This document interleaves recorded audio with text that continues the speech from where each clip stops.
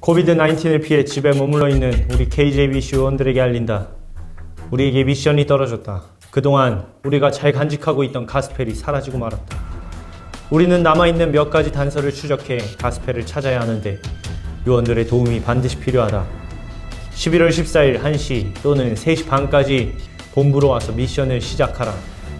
미션은 부모님의 칼을 타고 수행해야 한다. 아직 코비드 19이 기승을 부리고 있으니 만반의 준비를 하고 올 수 있도록 이상 이 영상은 10초 후 사라진다. 그때 보자.